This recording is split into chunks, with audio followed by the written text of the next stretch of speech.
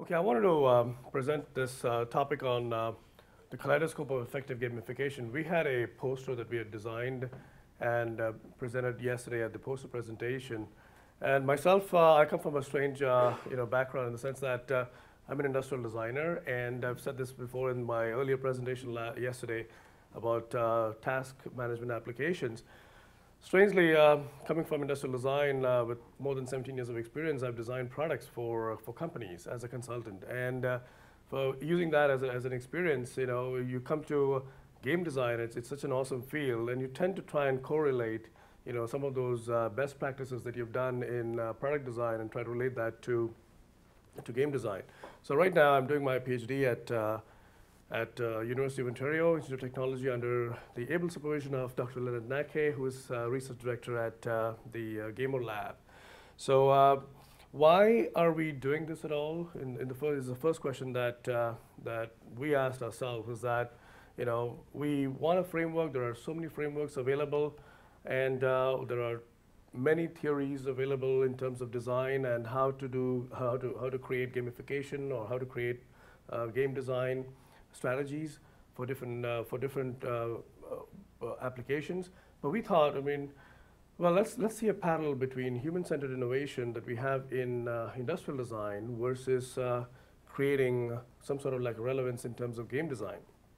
And often at times, you know, these terminologies can be quite confusing to a, the business community in terms of when you look at research, there's a lot of terminologies, and a lot of, you know, complex, uh, um, you know, models available. So we thought, okay, let's add to the complexity and add our own model to it, you know, so one more additional model to this entire mix.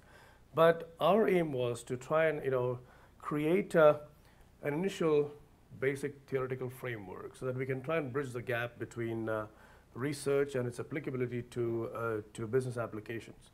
So um, here, this is our basic uh, model here where we look at uh, the simplified version of a framework.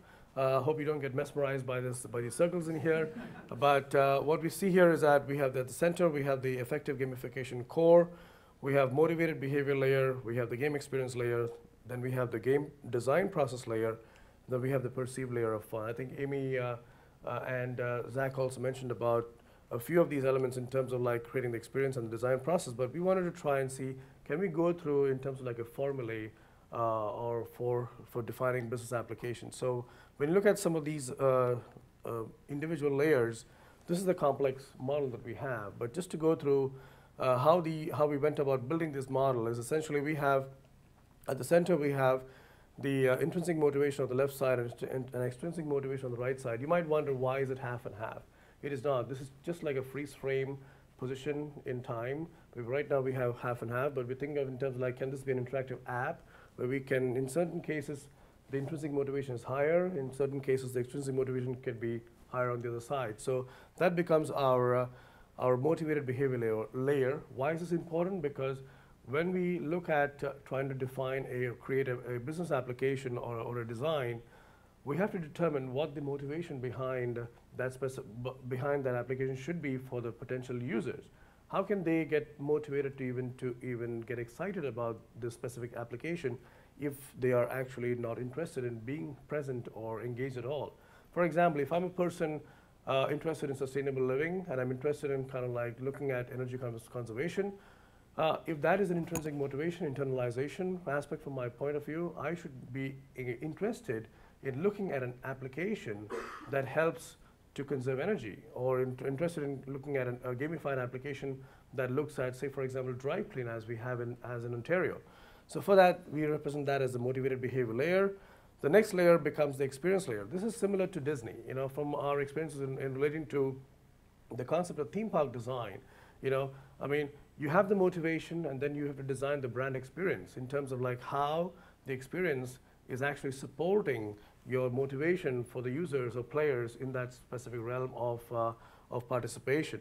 So this here, we have uh, actions, achievements, and challenges. Uh, we have detailed de details in our paper in terms of like how each one of those areas could actually be defined in terms of creating this experience for, uh, for our individual people. We have the game design process layer where we talk about these elements of design, but we look at how these elements of design are not just elements, but system processes. So you can take each one of these elements or attributes and then use that as a, a sustainable process in itself to create the human interaction touch points or the experience touch points so that that is what your user or your player is actually playing in.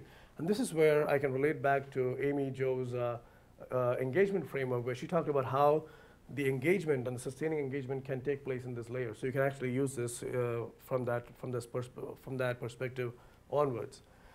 Finally, what's the point of any of this if we don't have the fun aspect of this entire process? So you got to ask yourself as to what is fun? What is, what is, what is the concept of uh, being able to create the excitement, the surprise element in your design concepts so that the fun layer excites the player in terms of trying to connect with your design. So this is kind of like an interactive framework in Flux. So we have a player viewpoint where the player sees the, the perceived layer of fun to the designer's view, uh, and the designer viewpoint is on the right side where they go through the motivated behavior layer, game experience layer, process, and the layer of fun.